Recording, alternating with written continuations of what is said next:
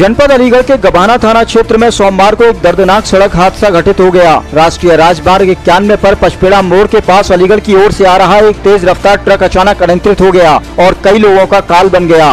पचपेड़ा मोड़ के पास तेज गति से आ रहा ट्रक अचानक अनियंत्रित होकर डिवाइडर को तोड़ते हुए सड़क के दूसरी ओर चला गया। बेकाबू ट्रक ने इस दौरान उल्टी दिशा से आ रहे तीन वाहनों को एक साथ रौन दिया। दूसरी ओर से आ रही एक स्कूटी, एक कार और एक टेंपू को कुचलते हुए ट्रक आगे निकल गया। हादसे में स्कूटी सवार पिता पुत्र की दर्दनाक मौत हो गई जबकि टेंपू व कार में सवार बच्चों समेत एक दर्जन ऐसी ज़्यादा लोग घायल हो गए। देखते ही देखते सड़क पर चीख पुकार मच गई। स्थानीय लोग तत्काल मौके पर पहुँचे और घायलों की मदद के लिए इलाका पुलिस को सूचना दी। मौके पर पहुँची इलाका पुलिस ने शवों को कब्जे में लेकर पोस्टमार्टम के लिए भेज दिया। वहीं हादसे में घायल सभी लोगों को उपचार के लिए निजी अस्पताल में भर्ती करा दिया। वहीं सड़क हादसे में स्कूटी सवार पिता पुत्र की मौत के बाद परिजनों ने जानकारी देते हुए बताया की आज सुबह राम कुमार और उनका बेटा दीपक कुमार ड्यूटी करके जब घर वापस लौट रहे थे तभी गवाना क्षेत्र के पचपेड़ा गाँव के पास अनंत ट्रक ने स्कूटी सवार दोनों लोगों को रौन दिया, जिसमें दोनों की मौके आरोप ही दर्दनाक मौत हो गई। पचपेड़ा गाँव में हुए भीषण सड़क हादसे पर SP crime doctor Arvind Kumar ने घटना की जानकारी देते हुए बताया कि गवाना थाना क्षेत्र के पचपेड़ा गाँव के पास अलीगढ़ से दिल्ली की तरफ़ एक ट्रक तेज गति से जा रहा था।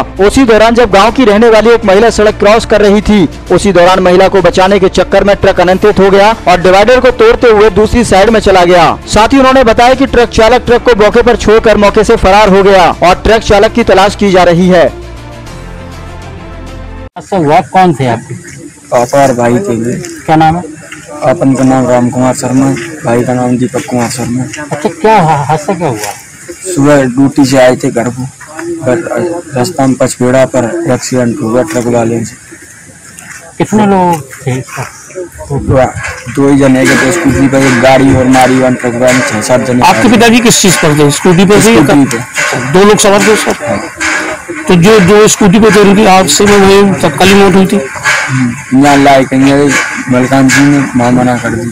कितनी चीज़ों में घुसा था डंपर ये मैं एक स्कूटी में घुसो एक गाड़ी में बस। अच्छा आपके पापा किस विभाग में थे क्या है? अच्छी विभाग में। सरकारी?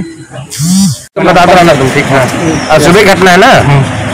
सर गवाने पे एक एक्सीडेंट हुआ क्या है?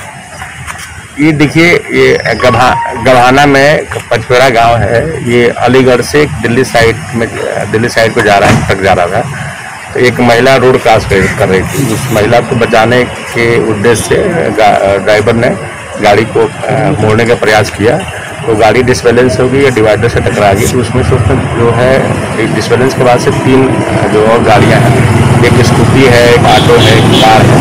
उसको उसने टच किया उसमें डैमेज हो गया जो कार सवार स्कूटी सवार जो एक राम कुमार था उसका लड़का था।